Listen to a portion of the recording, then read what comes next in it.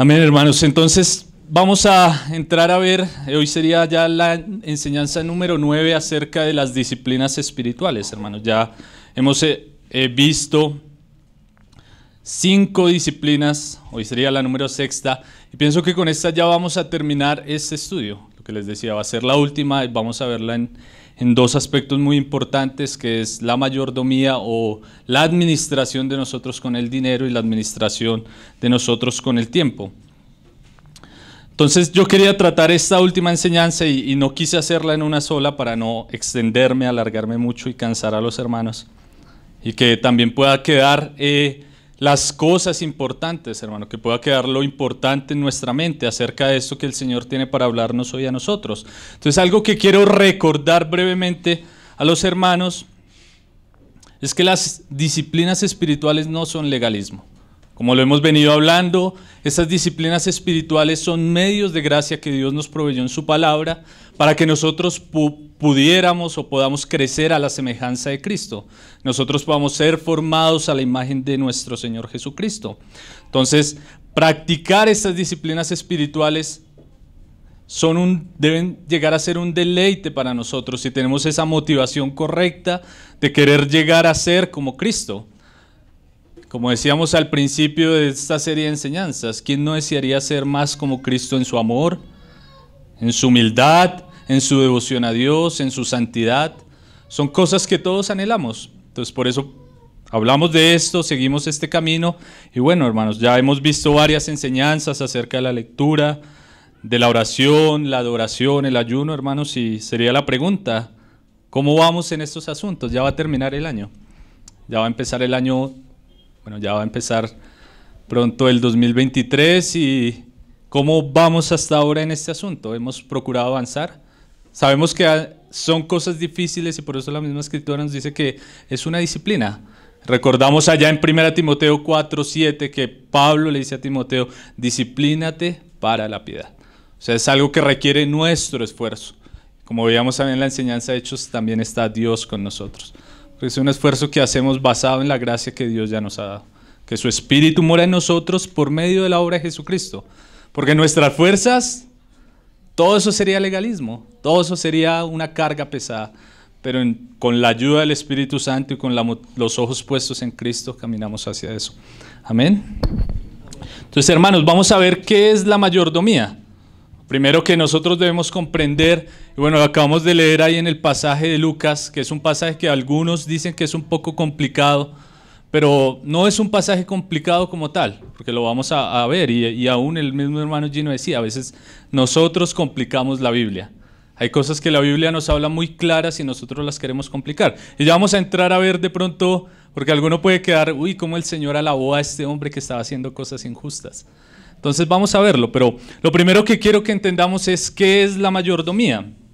Según el diccionario y según lo que nosotros entendemos en nuestro idioma castellano, lo que nos dice es que la mayordomía en administración es la ética de la gestión responsable de los recursos. O sea, es administrar los recursos de forma responsable. Y el término bíblico, ¿qué es lo que la palabra nos dice acerca de este asunto? Ahí lo leímos en Lucas 16 donde se nos habla de un mayordomo. Y esta palabra, mayordomo, bueno, en el idioma original es una palabra que es hoy, hoy, oikonomos, que quiere decir como el administrador de las cosas de la casa. O sea, alguien que pone en orden las cosas de la casa. Entonces, el, el diccionario Strong dice que más o menos sería un administrador, un tesorero, un mayordomo, alguien que está a cargo de los recursos de alguien superior. Por eso en la parábola nos habla de un hombre rico, un hombre rico que tenía un mayordomo y que le había confiado todos los bienes. Entonces ahí empieza un principio que nosotros debemos eh, mirar y observar para comprender algo, hermanos, porque cuando hablamos de mayordomía nosotros pensamos que administramos nuestros recursos y ese es el problema. Ahí inicia el problema. Nosotros acá en la parábola vemos que este hombre estaba administrando algo que le había sido confiado por un hombre rico. Si nosotros quisiéramos ya alegorizar la parábola, podríamos decir este hombre rico es el Señor y los mayordomos podemos ser, eh, pueden ser los, los creyentes y una cosa y la otra. Pero aquí el Señor nos habla de un hombre rico. un hombre rico que tiene un mayordomo y que este mayordomo estaba disipando los bienes de su señor. Ahí en ese sentido nosotros llegamos a entender lo siguiente, hermanos. El tiempo y el dinero que nosotros tenemos no es nuestro, es del Señor. Simplemente nosotros se nos ha sido confiado, nosotros somos administradores de eso que Dios nos ha dado, sea poco o sea mucho. En el tiempo todos tenemos lo mismo, en algunos recursos económicos ya varía, pero todo esto es del Señor, hermanos. Y es eso que nosotros debemos empezar a comprender para poder ver lo que el Señor quiere hablarnos el día de hoy. El Salmo 24.1 nos dice lo siguiente. Si quieren yo lo leo, hermanos, para que no, no, vayamos y, y, nos demoremos más. Amén. De Jehová, y Salmo 24.1 para los hermanos que quieran anotar. Salmos 24.1. De Jehová es la tierra y su plenitud, el mundo y los que en él habitan porque Él la fundó sobre los mares y la afirmó sobre los ríos. Entonces aquí el salmista nos dice que todas las cosas pertenecen al Señor. Entonces aquí empezamos a darnos cuenta que eso que nos ha sido confiado a nosotros, el tiempo, los recursos económicos, esas son cosas que le pertenecen a Dios, inclusive hasta la persona que no crea en Dios. El tiempo y las cosas que tiene le han sido dadas por Dios en su misericordia. Porque como decía John Bonjan, el camino del Señor está tan lleno de las promesas de Cristo que es imposible andar por él sin pisar alguna de ellas, inclusive hasta los incrédulos. Los incrédulos comen, viven, disfrutan el sol, disfrutan las cosas que Dios envía, la lluvia, porque dice la escritura que Él envía la lluvia sobre los justos y los injustos. Él hace salir su sol, el sol sobre todas las personas. Entonces nosotros comprendemos eso. Todas las cosas son del Señor. A veces algunos no lo quieren reconocer, dicen, no, esto es mío. Esto es mío, es mi tiempo, es mi dinero, pero resulta que un día el tiempo le es quitado. Y ahí se va a dar cuenta que eso no era de él. Y va a tener que rendir cuentas delante de aquel que es dueño de todas las cosas. Y que le confió la vida y le habló una y otra vez, así como lo recalcaban los hermanos ahora. Arrepiéntase, crea en el Señor Jesucristo porque va a tener que rendir cuentas delante del Señor. Y a veces dice, no, todavía soy muy joven, debo disfrutar la vida, eh, ahorita me casé, no, yo no voy a buscar de Dios, eso ahorita no es importante en mi vida. Y como el, el meme este que está en internet, dice demasiado temprano, demasiado, eh, estoy ocupado y ya al final muestran la tumba demasiado tarde. Y eso le va a ocurrir a las personas. Pero ahora también nosotros como creyentes debemos ser conscientes de esto también. Las personas que no conocen al Señor van a tener que rendir cuentas de lo que Dios les dio a administrar. Su tiempo, bueno, y, sus recursos. Pero más ahora el Señor nos va a hablar de esto a nosotros. Todo, absolutamente todo es de Dios. Es algo que nosotros debemos llegar a comprender, hermanos. Entonces, en ese sentido, nosotros vamos a entrar a ver la disciplina de la mayordomía o la administración, como lo decía en dos aspectos muy importantes, el dinero y el tiempo. Yo voy a iniciar hoy, bueno, por la disciplina de la administración en cuanto a los recursos económicos y la próxima vez que pueda estar aquí un domingo voy a finalizar la serie de enseñanzas de disciplinas espirituales con la administración de nuestro tiempo. Había una, algo que Donald Whitney nos habla en su libro Disciplinas Espirituales y, y él hace las siguientes preguntas para empezar a hablarnos de este tema tan importante. Él dice, considere por un momento lo siguiente. ¿Qué acontecimientos produjeron el mayor estrés en su vida hoy? Piensa por un momento. Y en esta última semana, piensa otro momento. ¿Acaso no incluyeron cierto sentimiento de estar sobrecargado de responsabilidades en el hogar, el trabajo, el estudio, la iglesia o todas juntas al mismo tiempo? ¿Qué me dice el estrés relacionado con pagar las cuentas? ¿O llegar tarde a una cita? ¿Haber descansado muy poco? ¿Hacer malabares con sus finanzas? ¿Esperar en un trancón en la autopista o carretera? ¿Tener un gasto inesperado? ¿Andar con poco efectivo antes del día de pago? Y él dice lo siguiente, ya finalizando la cita de Donald Whitney, dice, cada uno de estos productores de ansiedad, así como muchas otras cuestiones diarias, se relacionan con el tiempo o el dinero.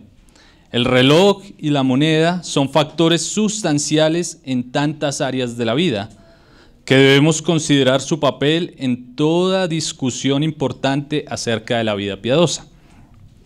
Entonces todos como personas, como seres humanos, estamos involucrados en estos aspectos que son muy prácticos de nuestra vida y que a veces nosotros llegamos a comprender y a decir, bueno, es que el Señor no le importa lo que yo haga con el dinero, con tal de que a veces dé una ofrenda por ahí de vez en cuando, y a Él no le importa a veces que tal vez yo despilfarre el dinero en bobadas, o comprando cosas innecesarias, malgastando los recursos que Él me dio o malgastando el tiempo, peor aún.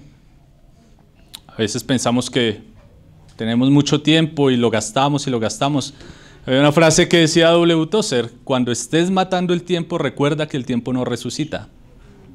Entonces es algo que nosotros debemos empezar a comprender. Son cosas que el Señor nos da para administrar y cómo las estamos eh, eh, cómo las estamos manejando, cómo nosotros estamos eh, administrando estas dos cosas importantes, el dinero y el tiempo. Ahí lo que decía Donald Whitney es algo importante, hermanos. Y nosotros debemos ser conscientes que la Biblia nos habla de todos los aspectos de nuestra vida, hermanos. A veces nosotros hacemos la dicotomía y decimos, bueno, aquí estoy en la iglesia, comparto con los hermanos, me gozo con los hermanos, pero ya salgo y se me olvida las cosas espirituales, pero inclusive cuando nosotros estamos eh, administrando nuestro tiempo o gastando nuestro dinero, Dios está ahí.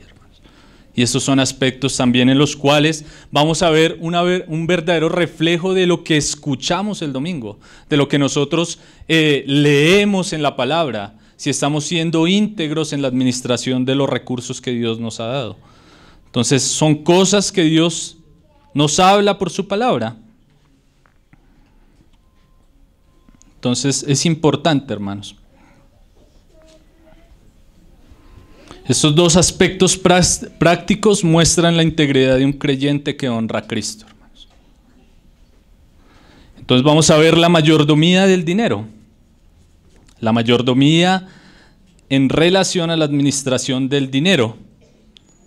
Como decían, posiblemente en otro domingo que el Señor me permita aquí vamos a hablar acerca del tiempo que es muy importante también. Entonces, la Biblia nos habla acerca del dinero. A veces nosotros queremos evitar estos temas por causa de algunos excesos que se ven en algunos lugares, donde se habla del dinero para manipular a las personas, para sacarles eh, la plata, para, para una cantidad de cosas que vemos hoy en día. Inclusive hasta miraba a una señora que supuestamente hablaba con los billetes, una supuesta cristiana.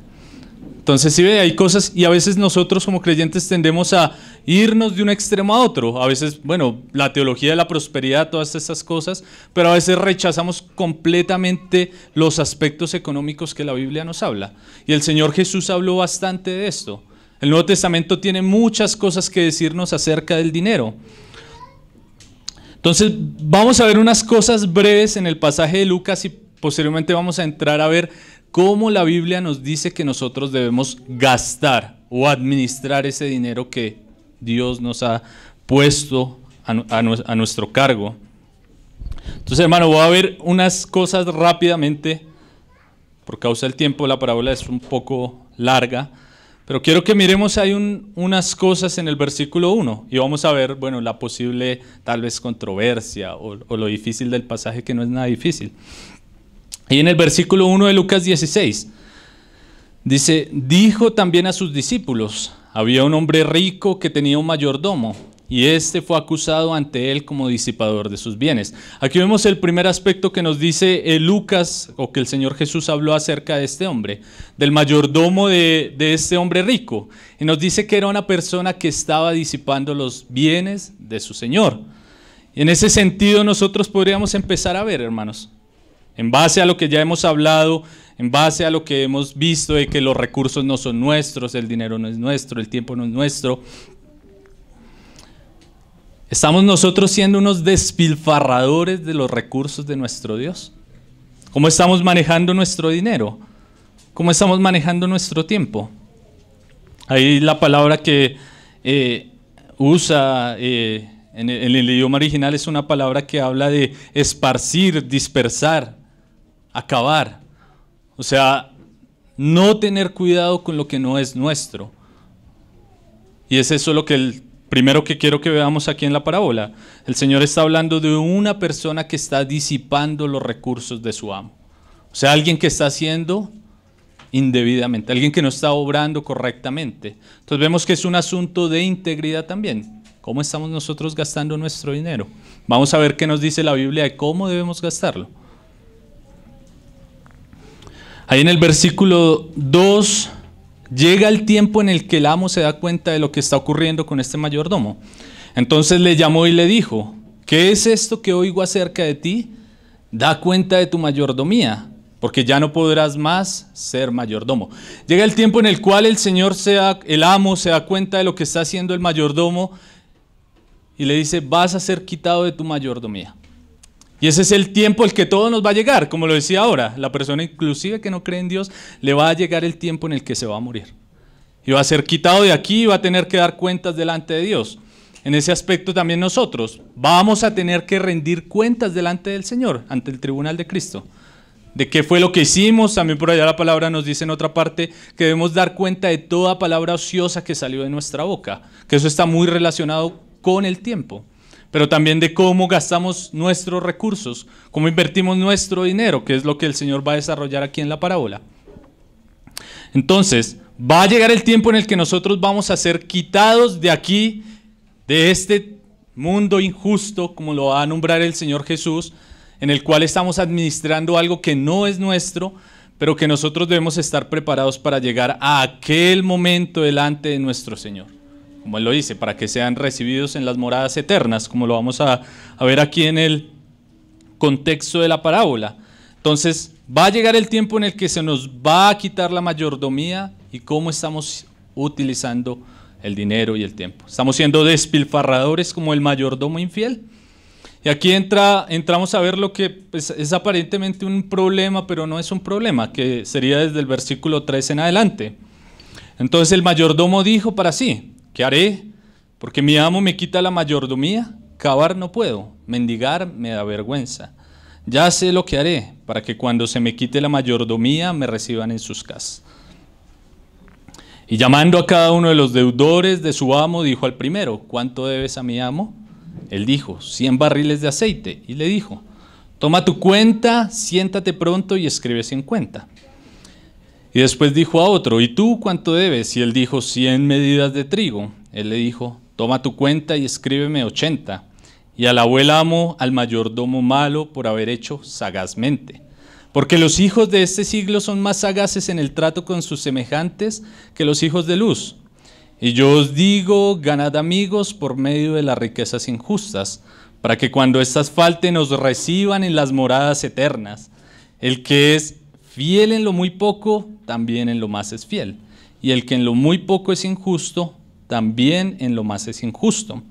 Ninguno puede servir a dos señores porque aborrecerá al uno y amará al otro, o estimará al uno y menospreciará al otro. No podéis servir a Dios y a las riquezas. Entonces aquí, bueno, como citaba ahora el hermano Gino, él dice a veces nosotros complicamos lo que la Biblia habla claramente. ¿Qué es lo que el Señor alaba aquí de este mayordomo infiel? ¿Que robó? No que hizo sagazmente. O sea que este hombre estaba previendo el futuro de lo que le iba a ocurrir. La mayordomía le iba a ser quitada y él estaba preocupado por lo que le habría de ocurrir. Tal vez en el ámbito natural, él diría, bueno, no, ahí como lo explica, él dice, cavar no puedo, mendigar me da vergüenza, entonces debo hacer amigos y personas que me reciban para que yo no tenga que pasar necesidad y mendigar y cavar y lo otro. Y él empieza a hacerlo deshonestamente, pero previendo el futuro. Y eso es lo que el Señor quiere mostrarnos acá. Que el amo alabó la sagacidad del mayordomo infiel. Ahí la escritura dice claramente que el Señor alabó al, alabó al mayordomo malo por haber hecho sagazmente. No dice alabó lo malo del mayordomo, sino que alabó al mayordomo malo por haber hecho sagazmente. Entonces empezamos a ver esto que el Señor nos empieza a mostrar aquí. Y claro, la escritura no nos habla de que debemos ser tramposos, ni que debemos robar y que debemos hacer trampa, porque la escritura lo condena por todo lado. Entonces el Señor Jesús no se va a contradecir. Entonces debemos entender esto. Lo que el Señor alabó aquí fue la sagacidad del mayordomo infiel. Y el Señor lo aclara un poco más en el contexto, que, dice que los hijos de este siglo son más sagaces en su trato con sus semejantes que los hijos de luz. Y ahí nos continúa diciendo, y yo os digo, ganad amigos por medio de las riquezas injustas, para que cuando éstas falten os reciban en las moradas eternas. El que es fiel en lo muy poco, también en lo más es fiel. Y el que en lo muy poco es injusto, también en lo más es injusto. Entonces vemos que el Señor aquí nos habla de algo, de, de unas riquezas injustas, y que debemos usar esas riquezas injustas para ganar amigos. Recuerda, hace un tiempo habíamos visto también esta parábola con los hermanos, y nos damos cuenta que aquí lo que el Señor se está refiriendo, bueno, lo que muchos hermanos dicen es que cuando el Señor habla de riquezas injustas, se está refiriendo al dominio del mundo, porque el mundo es un mundo caído, Adán cayó, pues todo lo que está en el mundo es, a veces es injusto, a veces nos guste o no aceptarlo, pero es así, hermanos, y a veces nosotros lo vemos, a veces la economía es injusta, a veces creemos que nuestros eh, jefes son injustos, a veces nosotros somos los injustos, entonces todo esto es injusto, sería en un sentido. Y el Señor lo que dice es, por medio de esas riquezas injustas, por medio de invertir esos, esos recursos económicos que les han sido administrados, eh, deben hacerlo para que los reciban en las moradas eternas. Y esto no quiere decir que ahora vamos a comprar nuestra salvación, no. Lo que quiere decir el Señor es que utilicemos el dinero para el avance del reino de los cielos. Nosotros que somos conscientes de esta realidad. Eso es lo que el Señor nos quiere dar a entender acá. Que nosotros usemos aquellas riquezas que son de un mundo caído para el avance del reino de los cielos. Por eso él ahí nos sigue diciendo que el que es fiel en lo muy poco, también en lo más es fiel, y el que en lo muy poco es injusto, también en lo más es injusto. Decía William McDonald al, al, respecto, la parte chocante de esta historia aparece cuando el amo alaba al mayordomo por haber obrado sagazmente. ¿Por qué iba alguien a aprobar tal falta de, de honradez? Lo que el mayordomo había hecho era injusto. Los versículos que siguen muestran que el mayordomo no recibió encomio o alabanza por su actuación tortuosa, sino más bien por su previsión. Había actuado con prudencia. Entonces esto es lo que el Señor nos muestra aquí en esta parábola. Primero nos dice que somos administradores y que debemos administrar de forma correcta si no vamos a ser quitados de allí. Pero ahora nos dice, prevean para el futuro. ¿Cómo están gastando esos recursos que Dios les ha dado? ¿Cómo están invirtiendo el dinero? ¿Cómo están invirtiendo el tiempo? Podríamos decirlo también. ¿Lo estamos usando para el avance del reino de los cielos o estamos simplemente disipándolo? Entonces el Señor, continúa diciendo William McDonald, el Señor dijo, los hijos de este siglo son más sagaces en el trato con sus semejantes que los hijos de luz. Esto significa que los impíos e inconversos muestran más sabiduría en proveer para su futuro en este mundo que los verdaderos creyentes muestran en guardar tesoro en el cielo. Entonces a veces vemos que las personas del mundo son más sabias para prever las cosas que van a ocurrir. A nosotros que creemos la verdad y como cantamos ahora que el Señor será nuestra paz, que Él va a venir, que vamos a reinar con Él, pero no estamos previendo para aquel momento. Estamos disipando los recursos de una forma negligente, viviendo únicamente para el hoy, viviendo únicamente de forma eh, a veces eh, descuidadas, sin importancia, negligentes. Entonces esto es lo que el Señor quiere hablarnos acá. Ahí bueno, el Señor va a continuar hablando y dice, le dice que a los fariseos, cuando nosotros leemos este capítulo 16 de Lucas, todos los versos de ahí en adelante están unidos. Porque el Señor, bueno, obviamente tenía que hacer la claridad por causa de los oyentes que estaban allí, que eran los fariseos. Y tal vez ellos que eran avaros iban a decir, ah, este está probando que hagamos trampa que hagamos las cosas mal, pero el Señor ahí más adelante les va a hablar de la ley, hace como un pequeño paréntesis del divorcio, pero que tiene una explicación en todo el contexto, y ya después nos va a hablar de la historia de, Lázaro y el rico, también mostrándonos de un hombre que en su vida vivió en opulencia, comía, eh, hacía banquetes grandes, no repartía a los pobres, y que murió y fue llevado y abrió sus ojos en el Hades. Y en cambio el pobre, bueno, Lázaro fue llevado al seno de Abraham y fue consolado. Entonces vemos que hay una unidad completa en todo el capítulo 16 de Lucas. Entonces el Señor, bueno, ahí en el 14 le dice, y oían también todas estas cosas los fariseos que eran avaros y se burlaban de él. Entonces les dijo, vosotros sois los que os justificáis a vosotros mismos, a vosotros mismos delante de los hombres. Mas Dios conoce vuestros corazones, porque lo que los hombres tienen por sublime delante de Dios es abominación. Entonces vemos cómo este pasaje nos habla acerca de la mayordomía. Y bueno, eh, específicamente también nos habla bastante de las riquezas, del dinero, de los recursos económicos, de algo que todos nosotros utilizamos. Pero ahora viendo este contexto, comprendiendo que el Señor nos habla de la administración, de que debemos usar nuestros recursos para el avance del reino de los cielos, no ser mayordomos disipadores, ser conscientes que lo que tenemos no es nuestro, sino que nos ha sido dado de parte de Dios. Veamos qué más nos dice la Biblia acerca de cómo nosotros debemos gastar o invertir ese dinero. El dinero que Dios nos da. Vamos a 1 Timoteo 6, 17.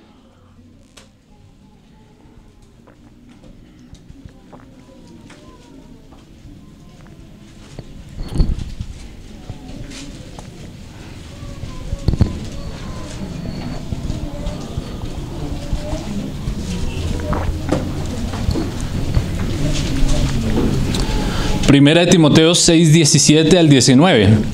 A los ricos de este siglo manda que no sean altivos, ni pongan la esperanza en las riquezas, las cuales son inciertas, sino en el Dios vivo, que nos da todas las cosas en abundancia para que las disfrutemos.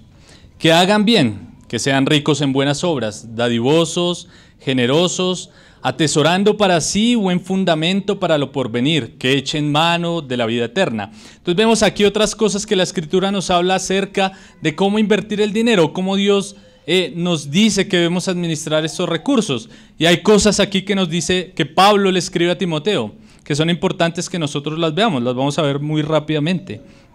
Lo primero que le dice es que los ricos no deben ser altivos o que las personas que tienen más recursos económicos no deben poner su confianza en ellas, ni tener la seguridad de que esto es, es, su torre fuerte, como lo dice allá en Proverbios, sino que es algo que Dios dio. Y no por lo tanto, por lo tanto que yo sé y comprendo que esto es de Dios y no mío, no debe haber ninguna altivez en mi corazón. Así el Señor me haya dado mucho.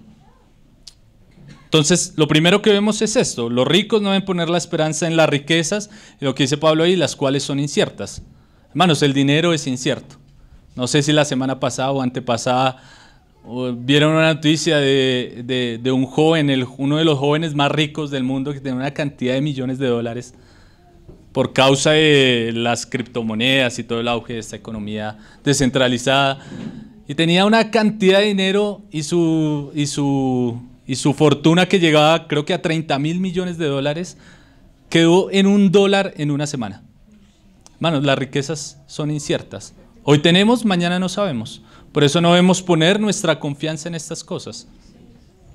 Y Pablo le dice esto a Timoteo, a los ricos de este siglo manda que no sean altivos ni pongan la esperanza en las riquezas, porque son inciertas sino en el Dios vivo. Como lo dice allá Proverbios, para los ricos eh, sus riquezas son su ciudad fortificada, pero para el justo Jehová es su torre fuerte. Entonces nosotros debemos tener eso presente. El Señor es nuestra torre fuerte, no nuestras riquezas. No nuestras riquezas, no, no las riquezas que el Señor nos da, porque nada es nuestro. Dice que, no, que nos da todas las cosas en abundancia para que las disfrutemos. Eso es un aspecto también importante, hermanos, porque a veces nosotros vemos el aspecto únicamente negativo del, dinero y todos decimos, no, el dinero es malo, el dinero es malo, no, no debo tenerlo, eh, debo vivir en pobreza absoluta. Hermanos, pero mire lo que Pablo le dice aquí a Timoteo, que el Señor da todas las cosas para que las disfrutemos. O sea, en cierta medida los recursos económicos que Dios nos da, que Dios nos provee, nos lo permite también para que lo disfrutemos.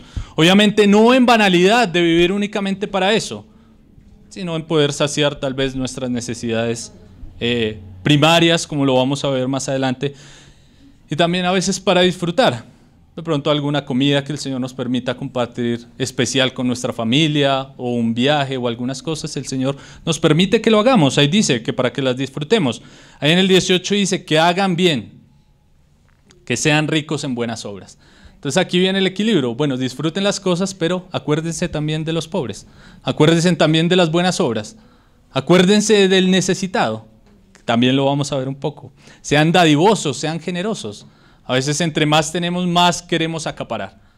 Nos volvemos tacaños y así como a aquel eh, hombre insensato allá narrado en, en, Lucas 12, en la parábola, el hombre que tenía riquezas y que dijo para sí, voy a hacerme unos graneros más grandes, quiero tener más, quiero eh, hacerlos más grandes y acumular tanta riqueza para que llegue el día en el cual yo diga, estoy tranquilo, tengo todo bajo control y le voy a decir a mi alma, estate tranquila y sacíate de todas las cosas que hemos acumulado. Pero ¿qué dice el Señor? Que este hombre era un hombre necio. Porque él no sabía que ese día iban a llegar a pedir su alma y todas sus riquezas iban a quedar acá. Entonces, que sean ricos en buenas obras, dadivosos, generosos, atesorando para sí fundamento para lo porvenir, que echen mano de la vida eterna. Entonces vemos aquí que también Pablo está muy de acuerdo con lo que el Señor Jesús decía ya en la parábola, atesorando para sí buen fundamento para lo porvenir. ¿A través de qué? De invertir sus recursos o los recursos que Dios da de forma correcta para el avance del reino de los cielos. ¿Qué más nos dice la escritura acerca de cómo nosotros debemos administrar nuestro dinero? Nos habla el Señor también acerca de administrar el dinero en el sentido de primeramente proveer para nuestro hogar. Ese es un aspecto importante. Primera Timoteo 5.8. Pablo decía lo siguiente, le, escribía a Timoteo ahí en el contexto de, las viudas, de la repartición, porque si alguno no provee para los suyos y mayormente para los de su casa, ha negado la fe y es peor que un incrédulo. Entonces vemos que los recursos o la economía que Dios nos da, nos la da también para que nosotros primeramente eh, proveamos para nuestro hogar, proveamos para nuestra casa y eso es algo que debemos entender y que debe recalcarse en los círculos cristianos, hermanos, porque hay muchos lugares en los cuales por causa del abuso, hermanos, las personas dejan de alimentar a su familia por supuestamente ofrendarle al pastor. Pasando necesidades, no tienen para pagar el arriendo, pero por allá se endeudan para dar el diezmo para ver si Dios les multiplica. Pero lo que el Señor nos habla aquí es que debemos primeramente proveer para nuestra casa. Y que si no lo hacemos, estamos haciendo algo muy grave. ¿Qué es? Negar la fe y estar siendo peor que una persona incrédula. Entonces es algo que Pablo, eh, bueno, la escritura nos deja, el Espíritu Santo nos muestra de cómo debemos invertir nuestros recursos. También ahí ustedes recuerdan en el Sermón del Monte, los fariseos, eh, que ellos les decían, o por causa de la tradición de ellos, ellos decían que si tenían una ofrenda para dar al Señor, eh, si tenían padres, tal vez que tuvieran que sustentar, ellos decían, no, no le voy a dar a mis padres porque tengo que dar la ofrenda al Señor. Se recuerdan que eso está ya en Mateo 7. Y el Señor les dijo que esto estaba mal hecho porque Moisés ya había dicho, honra a tu padre y a tu madre. O sea, a veces se cae en el exceso de decir, bueno, soy tan espiritual que voy a ofrendar, pero resulta que mis papás están en necesidad y no les ayudo. Y esto el Señor nos muestra que debemos hacerlo. Debemos proveer para los de nuestra casa. Entonces también a veces ocurre, hermanos, que cuando nosotros no podemos proveer para nuestra casa, bueno, sé que a veces hay situaciones difíciles, eh, falta de empleo, hermanos, pero en otras ocasiones no es falta de empleo ni economía dura, sino mala administración de parte nuestra. A veces no tenemos para pagar las cosas fundamentales de nuestro hogar porque estamos despilfarrando el dinero en bobadas. Gastamos de más, nos gastamos la plata en tontadas, en una cosa, en la otra, hermanos, y llega el día del arriendo y preocupados. Pero una semana atrás estábamos por allá en el parque de diversiones gastándonos la plata. Entonces, hermanos, debemos ser conscientes de que el Señor nos habla de estos aspectos. Debemos proveer para nuestra casa y eso es parte de ser un buen administrador, alguien que está usando los recursos de forma correcta, proveyendo para el hogar. Bueno, hermanos, yo, yo, recuerdo algo que, el Señor me, me, ha retenido un poco. Cuando era soltero con Diego nos íbamos para la librería y nos gastamos una cantidad de dinero. Hermanos, si yo me casé y ya supe que no podía hacer lo mismo. Ya yo no podía irme a, a gastar cualquier cantidad de dinero. Pero algo que fue bonito fue que en ese tiempo eso fue un buen ahorro. Porque los libros que compramos pues sirven hoy en día para lo que el Señor nos permite estudiar. Entonces eso es importante, hermanos. Nosotros debemos ser conscientes que hay prioridades en nuestra casa y que Dios nos dice que debemos suplirlas. Obviamente a veces nos habla bastante a los hombres porque el Señor nos da como las riendas de nuestro hogar. Pero también en otro sentido hay mujeres que son madres solteras y que deben aprender también estos asuntos, que deben saber administrar los recursos, administrar el dinero, saber eh, proveer para sus hijos, para sus nietos, para sus cosas, las que pueden trabajar. ¿no? Obviamente ya hay personas avanzadas en edad que son viudas, que no pueden trabajar y a eso la iglesia debería ayudarles. Entonces vamos a verlo. También el, el, Señor por su palabra nos habla de que debemos usar el dinero para obras de misericordia, como Pablo le decía a Timoteo. Que debían ser ricos en buenas obras, en, en, en, en cosas que fueran buenas y Santiago 1.27 dice lo siguiente, la religión pura y sin mácula delante de Dios el Padre es esta, visitar a los huérfanos y a las viudas en sus tribulaciones y guardarse sin mancha del mundo. Lo que decía, hermanos, debemos usar el dinero para obras de misericordia. Ahí Isaías 58 también que lo vimos cuando hablamos del ayuno. Isaías hablaba acerca del ayuno verdadero y el ayuno incorrecto a los judíos que hacían el ayuno para ser vistos y una cosa y la otra. Isaías les decía lo siguiente, no es que partas, el ayuno verdadero no es que hagas esto, no es que partas su pan con el hambriento y a los pobres errantes albergues en tu casa, que cuando veas al desnudo lo cubras y no te escondas de tu hermano. También Lucas 12:33 en, en el contexto de la parábola del rico necio dice, vended lo que poseéis y dad limosna, haceos bolsas que no se envejezcan, tesoros en los cielos, que no se agote, donde el ladrón no llega ni la polilla destruye.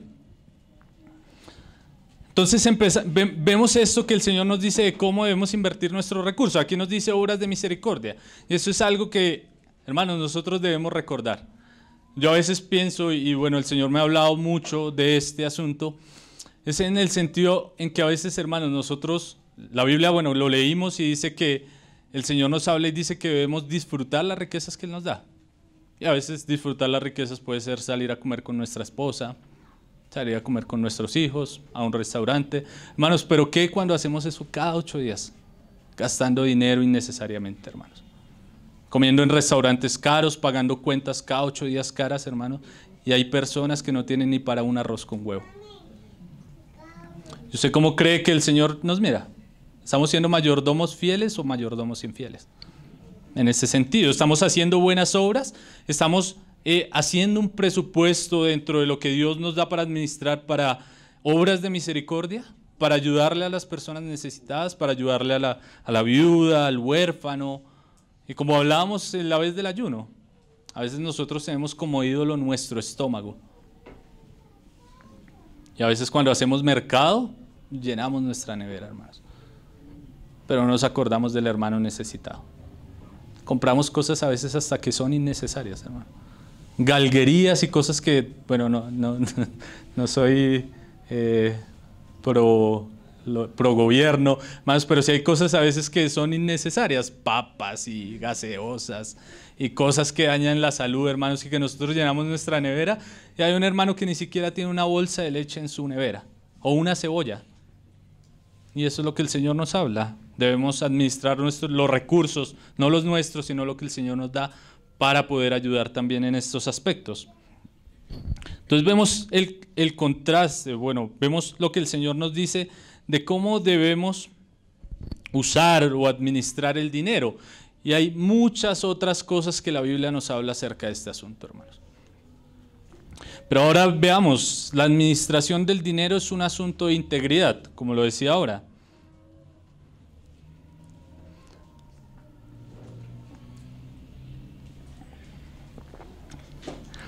Como cristianos hablamos poco de estos asuntos y por eso tenemos muchas dificultades en estos aspectos, como decía Donald Whitney. Las mayores eh, causas de ansiedad y de afán en la semana son estas, el dinero o el tiempo. No estamos siendo íntegros de acuerdo a lo que el Señor nos habla de cómo debemos gastar los recursos. Y lo primero que podemos hablar es algo que habla Richard Foster en su libro acerca de una disciplina que él, él habla que se llama la disciplina de la sencillez, porque yo quise integrar un poco acá, porque en parte la administración del dinero nos debe llevar, de acuerdo a lo que el Señor nos habla, nos debe llevar a vivir una vida de sencillez, hermano. La sociedad actual nos bombardea con todo tipo de publicidad y nos crea necesidades de cosas que de verdad son inservibles, innecesarias. Nos hacen creer que necesitamos el juguete tal para nuestro hijo, nos hace creer que necesitamos el carro último modelo, nos hace creer que necesitamos la ropa de marca, nos hace creer que necesitamos el último celular. Hermanos, si todo eso es parte del sistema caído, y a veces como cristianos vivimos muy eh, bombardeados de este aspecto porque de verdad que es un muy buen trabajo que hacen las empresas de publicidad. Hermanos, y nosotros nos vemos atrapados en esto y olvidamos que el Señor nos llama a vivir una vida sencilla. ¿Qué decía el Señor? Que si tenemos sustento y abrigo debíamos estar contentos. Pero a veces nosotros decimos, no, es que necesito ese celular porque, porque, porque voy a usar WhatsApp. porque voy a recibir unas llamadas, hermano, cosas innecesarias. Nosotros debemos aprender a vivir de forma sencilla algo más profundo ahí, hermanos, y que es parte de la integridad. Hermanos, ustedes ven que hoy es tan fácil la publicidad y los bancos, el sistema financiero, todo se mueve para decirle usted, compre ahora y pague después. Y ese compre ahora y pague después es pague un poco de intereses. Pagar intereses, hermanos, bueno, hay, algunos sentidos que tal vez el Señor nos permita como pagar una hipoteca, algo que, que a veces es, es menos que pagar una renta. Pero a veces pagar intereses por ropa, por inclusive hasta por automóviles, hermanos, son cosas que son innecesarias. Y eso es despilfarrar los recursos que el Señor nos dio. Darle más dinero al sistema, hacernos esclavos del sistema. Para pagar la cuota ahora tengo que trabajar el doble, ya no me reúno porque tengo que pagar esta cosa, porque tengo que pagar la otra y empezamos a volvernos esclavos de ese sistema y estamos siendo mayordomos despilfarradores de lo que el Señor nos ha dado. Entonces el mundo nos lleva a creer un montón de cosas que necesitamos, hermanos. Yo hace poco, bueno, una persona me dijo a mí, bueno, ya son cuatro, debería comprarse un carro. Y yo le dije, ¿para qué? Y me dijo, no, pues que debe salir con los niños y una cosa y la otra. Y yo le dije, bueno, voy a hacer cuentas. ¿Cuánto me vale el mantenimiento de un carro mensual? Solo mantenerlo, más o menos 500 mil pesos. Si lo compro de contado, si no tengo el dinero, ahora tengo que pagar la cuota y tengo que pagar el interés. Se va a subir la cuenta más de un millón de pesos. Le dije, si yo salgo con mi esposa, bueno, venimos a la iglesia a pie, a veces cuando hacemos cita médica nos vamos en hora, pedimos las citas en hora valle para poder subirnos en Transmilenio. Hermano, si me gastara en taxi todo, yo hice las cuentas, no, no serían más de 200 mil pesos.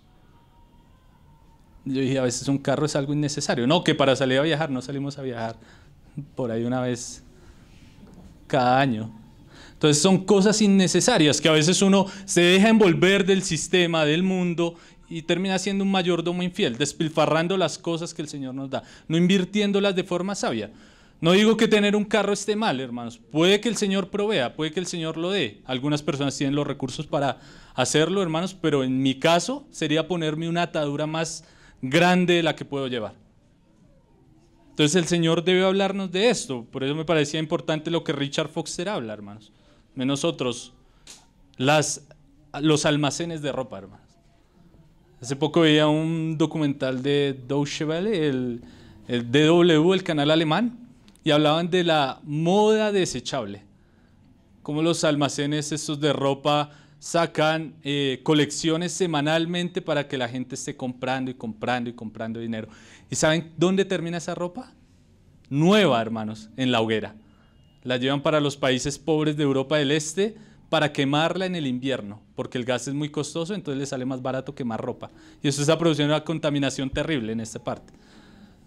Y a veces las personas, no, que me antoje de la chaqueta, que me antoje de, estas cosas, de lo otro, y pague interés, pague interés, pague interés. Está como el meme ese de la señora que llega a la ventanilla y dice, eh, vengo a pagar la última cuota de la cuna. La señora le dice, ¿cómo está la niña? Soy yo. toda la vida pagando interés, toda la vida pagando ahí cuota, alimentando el sistema, siendo esclavos. ¿Por qué? Porque no somos íntegros y no miramos esto que el Señor nos dice. Debemos vivir vidas de sencillez. Lo que digo, hermanos, el Señor a algunos les da en abundancia y a otros tal vez nos da en menos abundancia, pero nos da lo necesario para que todos vivamos. No debemos ponernos cargas y cosas que el Señor no nos, no nos, no nos manda, hermanos. Eso es ser un disipador de los recursos. Algunos otros, bueno, las deudas y todo esto, hermanos, y, y, parte de la administración del dinero y la integridad tiene que ver con el sentido de las responsabilidades que adquirimos, digamos en el sentido de los bancos, de los préstamos, tal vez inclusive a veces eh, con personas, con familiares, con incrédulos, en los cuales a veces pedimos prestado, hermanos, y a veces por nuestra mala administración no pagamos. Y el nombre del Señor es blasfemado por causa de nuestra. No pagamos las obligaciones que adquirimos, no le pagamos a las personas que nos prestan. Y ahí el Salmo 37, 21 decía lo siguiente, David, el impío toma prestado y no paga. A veces nos comportamos de forma impía. Y eso ha ocurrido, hermanos. Hay personas que llegan a las iglesias, están en medio de los hermanos, se ganan la confianza, empiezan a pedirles dinero, empiezan a, ofrecer trabajos, cobran el anticipo y se van y se pierden. Y, y, queda ahí como el mal testimonio, a veces daña las relaciones con los hermanos por falta de administración del dinero. Entonces vemos que es un asunto de integridad y que involucran todo nuestro ser como creyentes, que a veces nosotros decimos es algo que es, separado de la vida espiritual, hermanos, pero vemos que es algo muy práctico, que Dios debe hablarnos a nosotros. Entonces el Señor también nos muestra en la escritura la relación que debemos tener en cuanto al dinero. Bueno, Pablo ahí le decía a Timoteo que las personas no debían poner su confianza en ella, pero ahí en el capítulo 6 de 1 Timoteo, un poco más arriba, decía lo siguiente.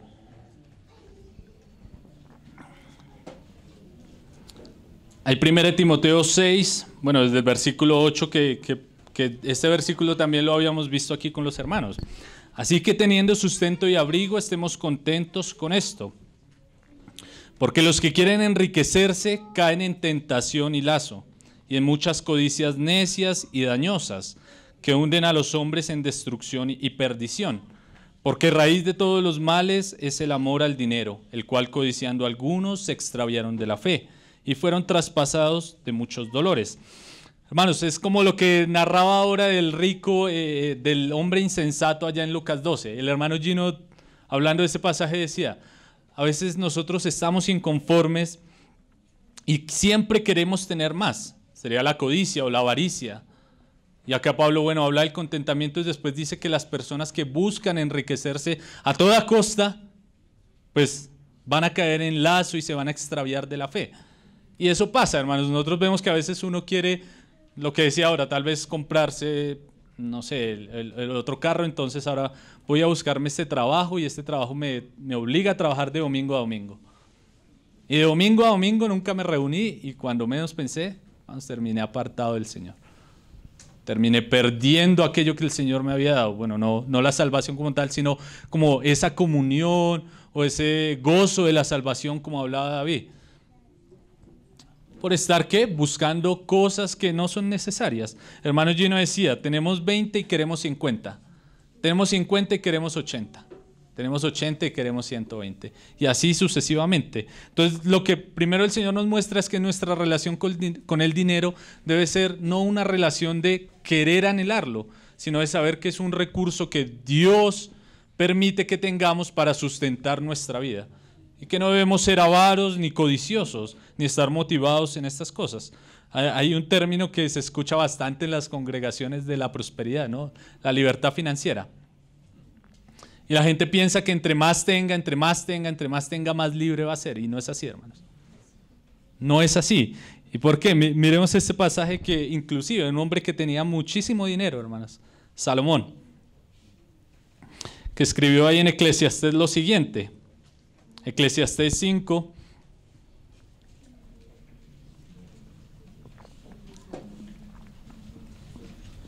Hermano, qué pena, ¿puedes regalar un poquito de agua? Qué pena, es que se me seca bastante la garganta. Entonces vemos aquí que a veces nosotros decimos, no, entre más tenga, más libre voy a ser. Voy a ser libre y allá en, los círculos de la prosperidad dicen, pacte con Dios para que usted obtenga su libertad financiera. Y algunos se dejan engañar y otros empiezan a buscar la libertad financiera por sus cosas, metiéndose en un negocio, en el otro, haciendo una cosa, la otra. Y mire lo que dice Salomón, ahí en Eclesiastes 5, desde el versículo 10, él dice lo siguiente, Salomón fue un hombre que tuvo mucha riqueza, una persona que tuvo cantidad de caballos, que tuvo cantidad de oro, cantidad de cosas y que inclusive él hizo mal. Salomón hizo mal al acumular tantas cosas, porque Deuteronomio le decía a los reyes que ellos no debían acumular tanta cantidad de riqueza. Y por eso vemos que el corazón de Salomón se desvió. Salomón se desvió, se fue con las mujeres y se, apartó. Entonces Salomón en Eclesiastés escribe lo siguiente, Eclesiastés 5.10, el que ama el dinero no se saciará de dinero, y el que ama el mucho tener no sacará fruto. También todo esto es vanidad. Cuando aumentan los bienes, también aumentan los que los consumen. Qué bien, qué bien, pues tendrá, qué bien pues tendrá su dueño si no verlos con sus ojos. Dulce es el sueño del trabajador, coma mucho o coma poco, pero al rico no lo deja dormir la abundancia. Entonces, hermanos, vemos que a veces decimos, no, es que entre más tenga, pues va a tener libertad financiera y voy a estar bien y una cosa y lo otro, hermano. Si usted en lo poco no es fiel, en lo mucho tampoco. Si usted no administra bien lo poco que el Señor le da, hermanos, el Señor tiene misericordia y por eso no le ha dado más. Vemos que aquí no es una cuestión de, de, decir, no, es que voy a tener libertad financiera y libertad financiera, hermano, nuestra libertad no la da el Señor. Ahora el Señor nos dice que debemos ser organizados en estas cosas, en el dinero y en esto, para que no sea un motivo de ansiedad para nosotros, como también ya el Señor lo habló ahí en el Sermón del Monte que lo vimos acá.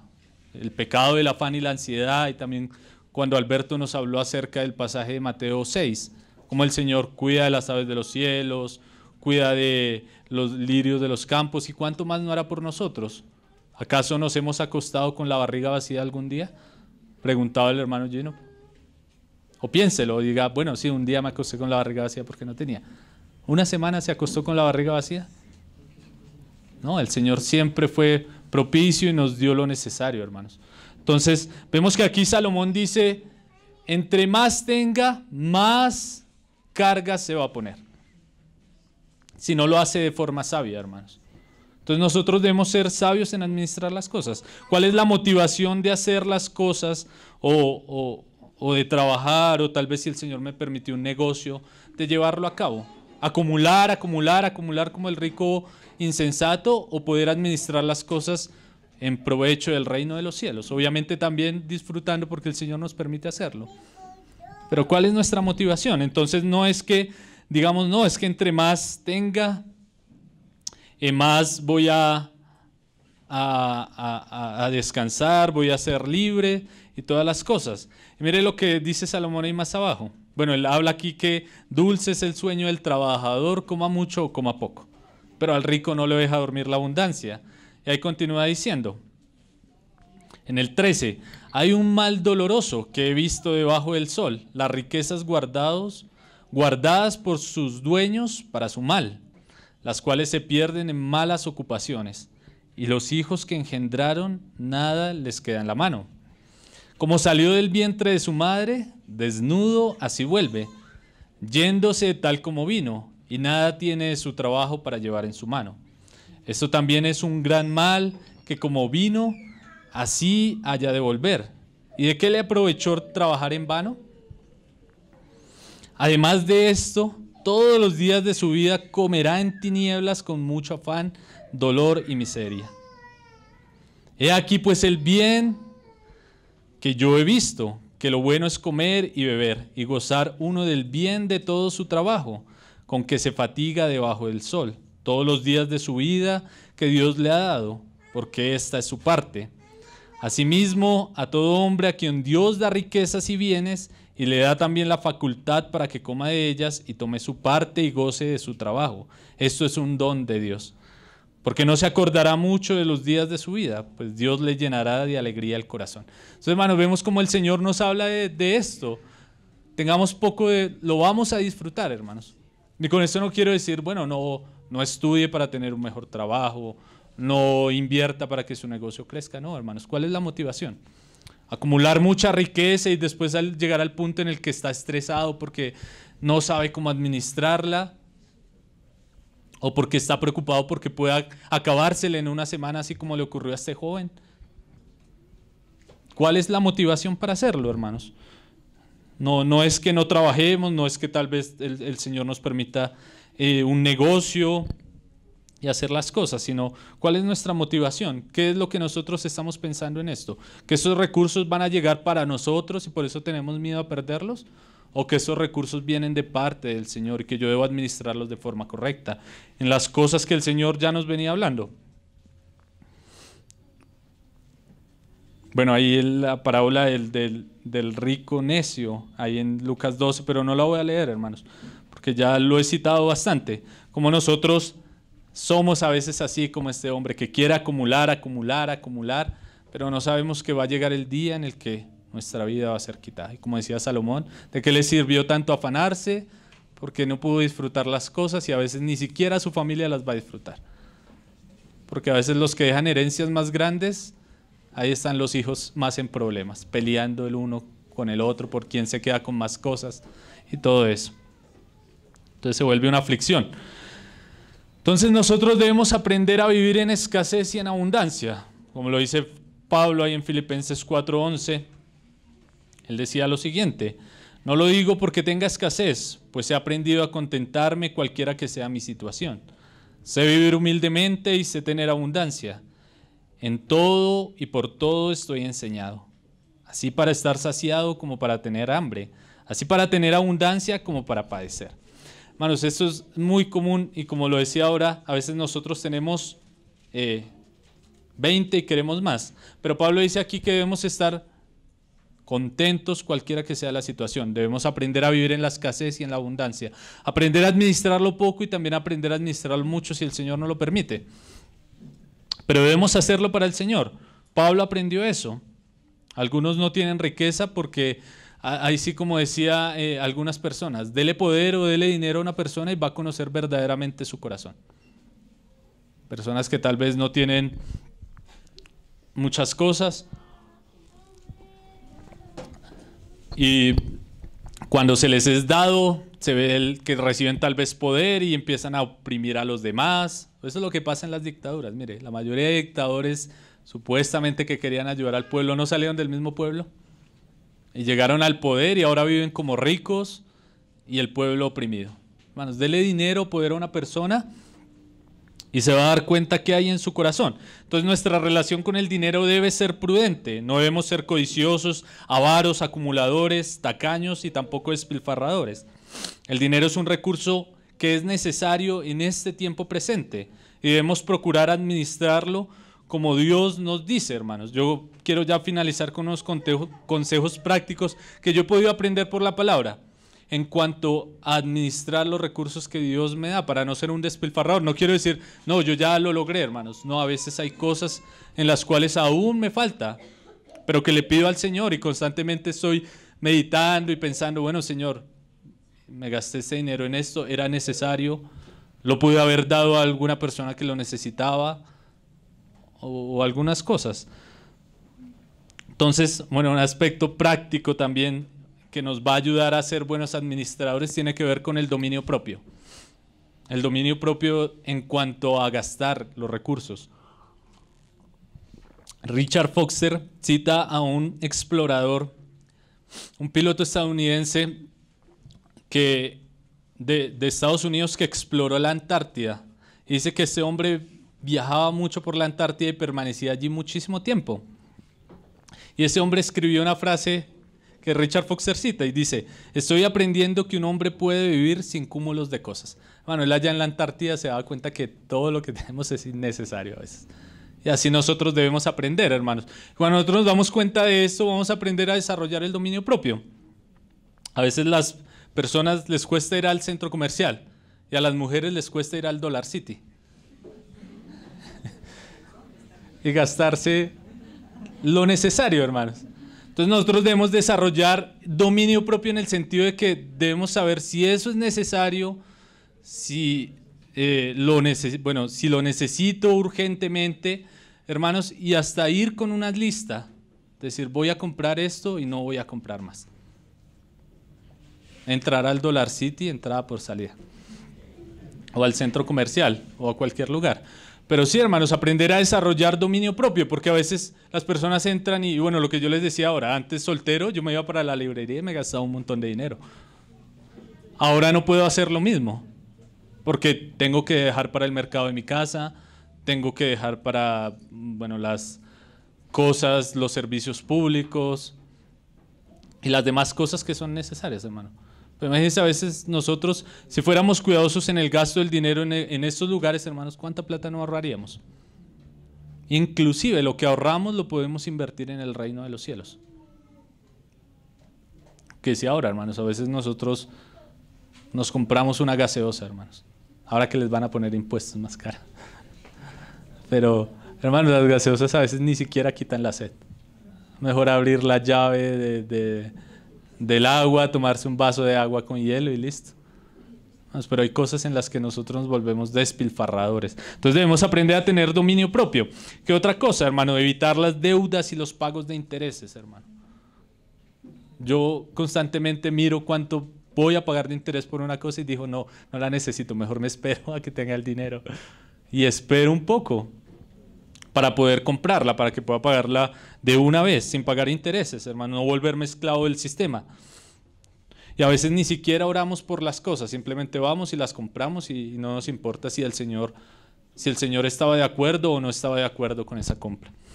A veces actuamos como el mayordomo espilfarrador. También debemos eh, hacer, hermanos, y bueno, esto se habla, lo habla el Nuevo Testamento, de que lo algo importante que nosotros debemos tener presente es dar para el avance del reino de los cielos, bueno, como el Señor lo decía ahí, y apartar tal vez de primeras o como podamos la ofrenda para la obra del Señor. Para que el Señor vea que así como David decía, Señor, te damos lo que recibimos de tus manos. Allá en 1 Crónicas 29, cuando ya recogieron la ofrenda para el templo, decía, Señor, te damos las gracias y de lo que tú nos has dado nosotros te damos. Que David entendía que él era un administrador del Señor, que esos recursos no eran de él, sino que el mismo Señor los había dado y ahora él prácticamente le estaba devolviendo al Señor algo. Y es, y es en ese sentido que un hermano lo explicaba. A veces nosotros cuando ofrendamos no es decir, Señor, toma lo que te toca y ahora yo hago con esto lo que yo quiero. Que a veces así parece que ofrendamos nosotros sino decir, Señor, esto es lo tuyo y esto es lo que tú me permites a mí para mi sustento. Sería el sentido correcto de las cosas y poder apartar para la ofrenda, hermanos. Hay algo, y en este aspecto el Señor me, habló bastante ahí en 1 Corintios 16. Pablo le hablaba a, a la iglesia en cuanto a la recolecta de la ofrenda para los santos. En cuanto a la ofrenda para los santos, 1 Corintios 16, 1. Haced vosotros también de la manera que ordené en las iglesias de Galacia. Cada primer día de la semana, cada uno de vosotros ponga aparte algo según haya prosperado, guardándolo para que cuando yo llegue no se recoja entonces ofrendas. Pablo aquí le dice a los corintios que ellos debían eh, apartar la ofrenda o el dinero que iban a, dar para, para los santos pobres, para la obra del Señor, y debían apartarlo el primer día de la semana. Algo que yo hacía, y bueno, leyendo el libro de Donald Whitney, el Señor me habló bastante. Y él cuenta el testimonio de un, hermano también que, bueno, los hermanos saben que mi trabajo es ocasional. y que yo no recibo la paga así como quincena, como mes, como eso, sino que lo recibo ocasionalmente. Y yo acostumbraba a apartar ocasionalmente cada vez que me llegara el pago. Pero este hermano dice que él hacía lo mismo, pero que una vez llegó un pasaje en Éxodo 23 donde se celebra la fiesta de los tabernáculos, creo. El Señor da la ordenanza de cómo celebrar la fiesta de los tabernáculos y, todo esto. Y el Señor decía lo siguiente, y ninguno se presentará delante de mí con las manos vacías. Hermanos, el participar de la ofrenda es un acto también que incluye, eh, está incluido dentro de la adoración al Señor. Entonces nosotros debemos también procurar, o, bueno, el Señor me lo habló bastante a mí, de procurar cada semana, hermanos, apartar algo para el Señor, para no presentarme delante del Señor con las manos vacías. Ahora no sé si sea su caso, si algunos lo hagan quincenal o mensualmente, pero que podamos hacerlo de esta forma, ser organizados y administrar de tal forma que podamos presentarnos delante del Señor. Sé que en algunos lugares y algunas personas pueden decir, bueno, pero este está hablando de ofrendas, de recoger dinero, esto es lo que escuchamos, y mire que lo uno, lo otro. Hermanos, hay excesos y sé que varios lugares en los cuales se pide la ofrenda para comprarle el avión al pastor. Y eso está mal hecho. Hermanos, y nosotros, bueno, podemos ser los que llevamos un tiempo, podemos ser conscientes, hermanos, y hasta inclusive se ha hecho públicamente lo que se hace con las ofrendas aquí en la iglesia. Y el que quiera preguntar qué se hace con las ofrendas para la iglesia, puede acercarse al hermano Héctor, puede acercarse a los hermanos que ayudan en el diaconado para preguntarles acerca de esto, hermanos. Y con toda seguridad ellos les van a hablar claramente, hermanos, porque esto no está escondido. Es algo que el Señor nos da. Si nos cuesta a veces dar porque decimos, bueno, pero mi ofrenda puede que no llegue, hermanos, pregúntele a los hermanos. Hable, pero trate de hacerlo para el Señor. Entonces no nos el Señor me hablaba bastante de no presentarme delante del Señor con las manos vacías, bueno, leyendo a Donald Whitney. Entonces nosotros debemos aprender a apartar ese presupuesto para la obra del Señor, para la ofrenda. Y también, bueno, como lo cité anteriormente, apartar regularmente, hermanos, para las obras de misericordia, para ayudar a aquellas personas necesitadas que están en medio nuestro. Lo que les decía ahora, hermanos, a veces nosotros eh, vamos al centro comercial, a los lugares, hermanos, a veces inclusive eh, tenemos una cantidad de zapatos y queremos otros, y camisas y queremos otra, hermanos. hay personas que no tienen ni un par de zapatos. Si nosotros pensáramos de la forma correcta que el Señor nos dice que debemos compartir, hermanos, ¿qué estamos haciendo nosotros? Lo que decía, no, no digo que esté mal salir al centro comercial a comer, hermanos, pero cada ocho días eso es una cuenta bien grande. Al mes suma bastante. Podríamos haberle hecho un mercado a alguien que está necesitado. Entonces debemos apartar para obras de misericordia. También, bueno, en medio de la iglesia pueden hablar con el hermano Víctor o también si el Señor le pone en su corazón a alguna persona que sabe que está necesitada, hermano, procure hacerlo regularmente. No diga solo este mes y vuelvo y lo hago en un año, no, sino constantemente que esté dentro de nuestro presupuesto, hermanos. La palabra dice que el que da al pobre presta a Dios. Y Dios no, Dios no es deudor de nadie. Hermanos, inclusive a veces hasta nosotros hemos sido beneficiados de esas obras de misericordia. Entonces debemos procurar hacerlo constantemente, regularmente. También debemos aprender a ahorrar para épocas difíciles, hermano.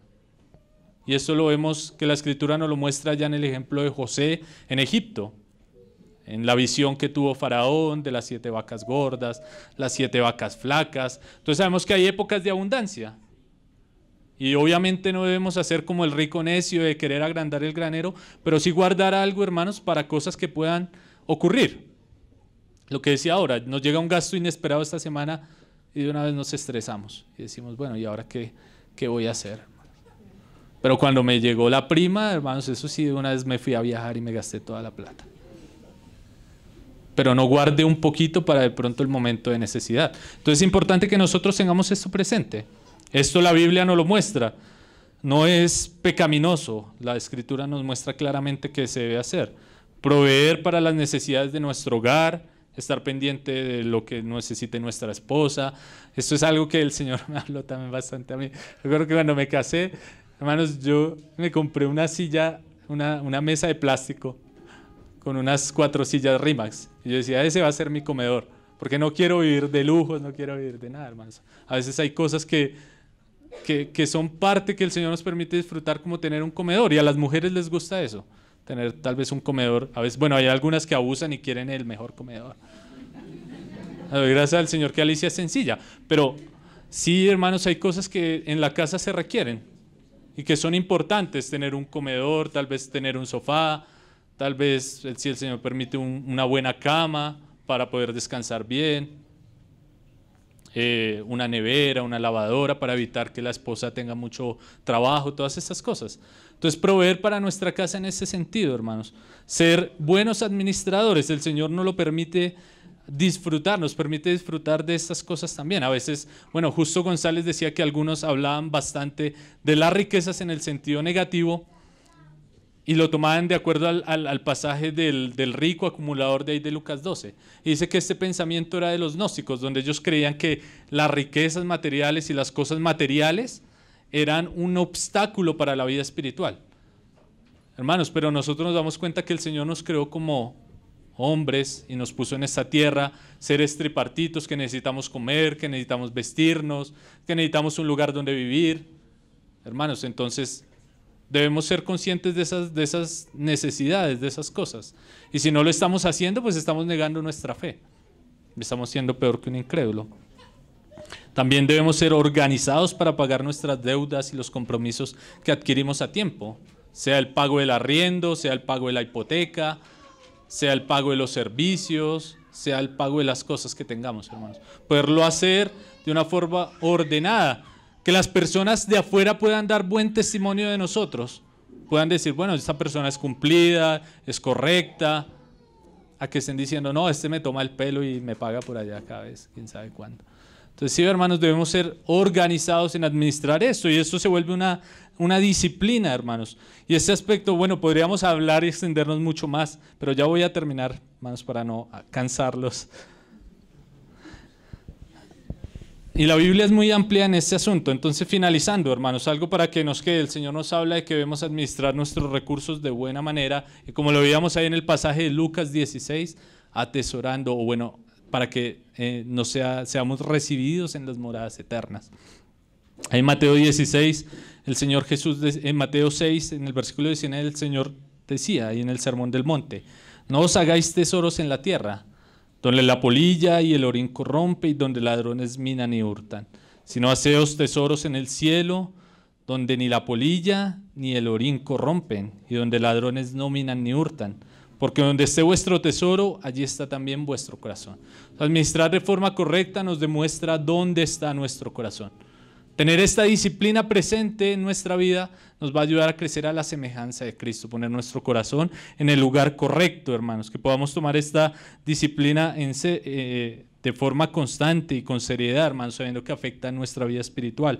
Ahí Pablo, ya para terminar este último versículo, en Filipenses 4, 16 decía lo siguiente, pues a una tesalónica, le decía a la iglesia que había enviado ofrendas, me enviaste una y otra vez para mis necesidades. No es que busques dádivas, no es que busque dádivas, sino que busco fruto que abunde en vuestra cuenta. Hermanos, aquí Pablo dice, habla de una cuenta. ¿Y cuál cuenta es esta? El hermano Gino decía, no es la cuenta corriente, no es la cuenta de ahorros, hermanos, es nuestra cuenta en el cielo aquello que estamos acumulando allá para cuando el Señor nos reciba. Qué alegría poder llegar el día eh, que, nos encontremos con el Señor y tal vez ver personas que digan, oiga, escuché el Evangelio porque usted ofrendó y me llegó un folleto allá a la casa. Oiga, escuché el Evangelio porque usted ofrendó y el Señor envió un misionero allá al lugar donde yo estaba. Oiga, usted ofrendó y el Señor pudo hacerlo, hermanos. Qué bonito que podamos eh, eh, encontrarnos en el cielo con estos testimonios darnos cuenta y que este fruto hunde nuestra cuenta, hermanos. Y para finalizar, algo que, que vi, hermanos, que nosotros, que me pareció impactante y fue una entrevista que le hicieron a un hombre, dice que es el segundo hombre más rico de Colombia en este tiempo. Es el dueño de un banco digital. Y este hombre, bueno, muy filántropo, se despoja de todo su dinero y toda la cosa. Y aunque es un impío, el hombre decía lo siguiente, porque le decían, bueno, ¿y qué quiere ser el hombre más rico de Colombia? Él decía, ¿de qué me sirve ser el hombre más rico del cementerio? Para que nosotros reflexionemos, hermanos. A veces nosotros como cristianos pensamos en que sí queremos ser los más ricos del cementerio, hermanos. pero que podamos despojarnos y hacer tesoros en el cielo. Que el Señor nos ayude a administrar los recursos, que podamos tener esta disciplina. Amén, hermanos. Vamos a, dar gracias.